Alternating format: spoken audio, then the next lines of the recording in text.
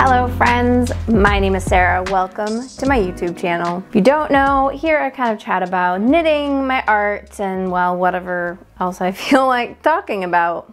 Today is going to be the first in a series of showing off my knits and my wardrobe and how I style them. I kind of plan on focusing in on just a couple of pieces each time I do one of these wear my knitwear type videos. I'm not exactly sure the title. I'm sure there'll be a title, bing, that you would have seen when you clicked on the video. But I plan on focusing on just a couple of pieces and styling them in different ways for a couple of different reasons. One, so I can see the versatility of certain pieces and different outfits I can wear with them. Because a couple of these things that I'm showing you today, I had just like a couple of outfits. But then as I was going through Pinterest and my wardrobe, I was like, actually, I have quite a few outfits I can wear these with.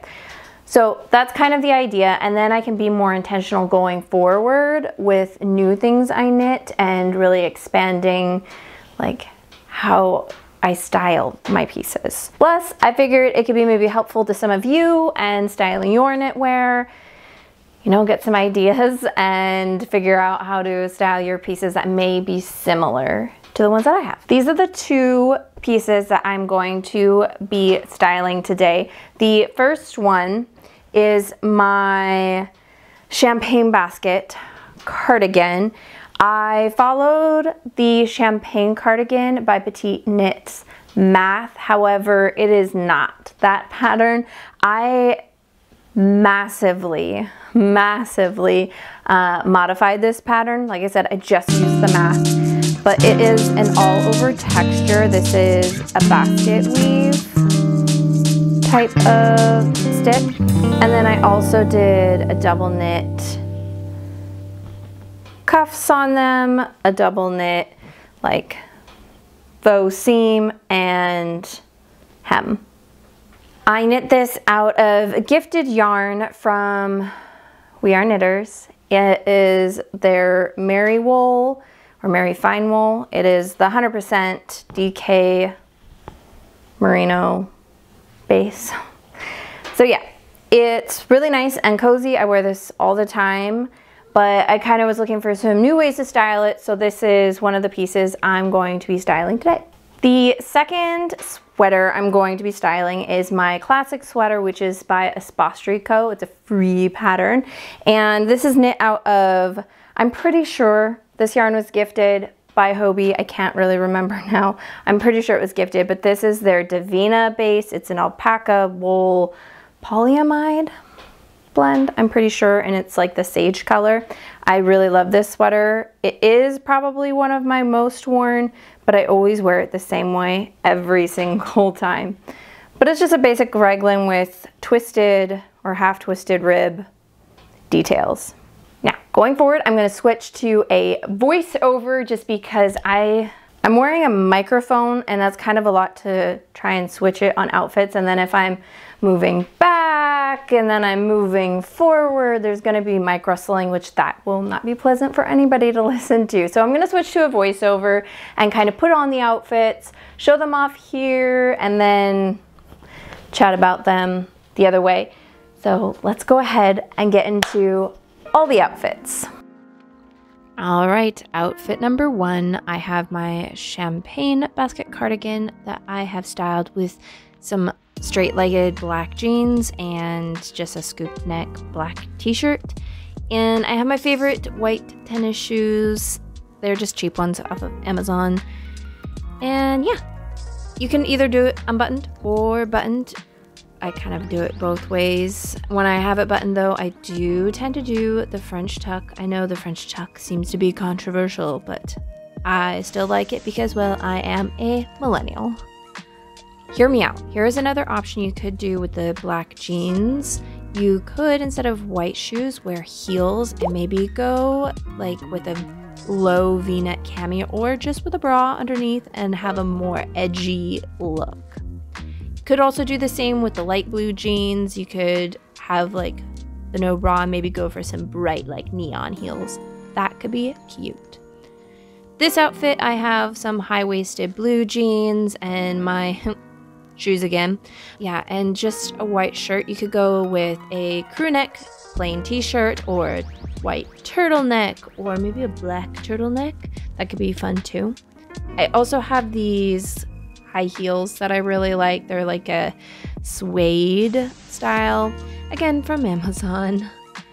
And then for this though, because my are taller, I roll up my jeans like with a skinny roll. I think I rolled them about three times. And yeah, super cute. I really love this outfit. Uh, I kind of want, I have not worn this one before, but I kind of want to wear this now.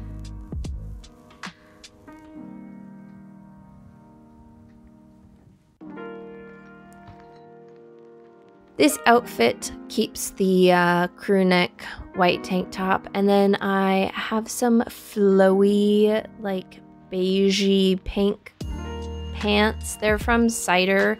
I really like them. The quality is pretty good. But you could do this with like maybe a khaki pant. That would be super cute. Or like some, uh, what are they called? Help me out here. Slacks. Slacks is the word I was looking for. Some really nice slacks would be really cute for this outfit. This is a dress also from Cider. It's just like a longer midi length fitted dress. I love these shoes, like I've said. So here I've styled it with the shoes. You could also do high heels and honestly, cardigans are super cute with any style of dress. I personally don't have a ton of dresses in my wardrobe, but it looks great with this one. Sweater number two. My classic sweater. I love this sage. I think it would be super cute uh, with basically so many things. First, I have it paired with the same style of floaty pants in white, but white jeans would also be fabulous. Khakis too. Same like so, sort of like trousers would be great. Now, I personally don't have a fear of wearing blues and greens with denim. I think just wear what you want to wear. So I have this sage with my high-waisted light jeans and well, a couple of shoe options. First being my white ones.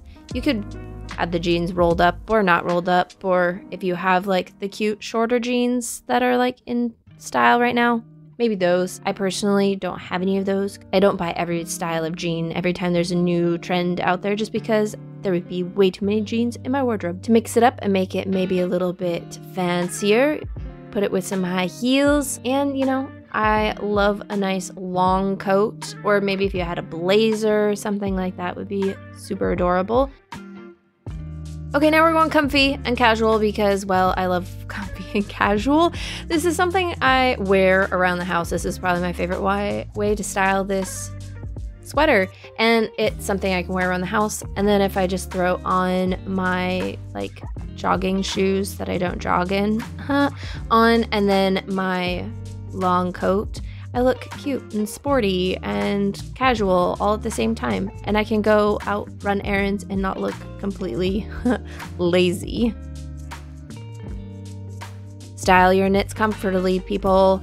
There's nothing better than a cute sweater worn around the house.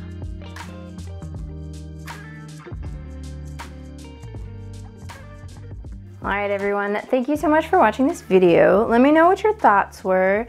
I'm not sure if I'm going to keep this exact formatting for future styling videos. I did find it slightly difficult to get the full outfit in frame. Uh, it, I mean, my house is also kind of small, so maybe it'll be easier in summer if I can go outside.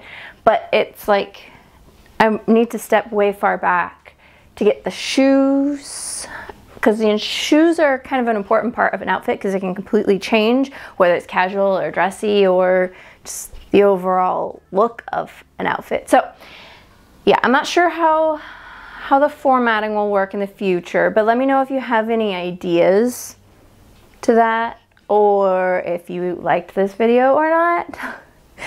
I don't know. I enjoyed like looking at outfits and planning things out and kind of seeing them all come together. But of course, if you guys are like, heck no, this video was boring as can be, then, well, I won't keep making them. But yeah, let me know your thoughts. Thank you so much for watching this. Make sure you hit the like and subscribe and all the things. You know how to do it. And we'll see you next time. Bye.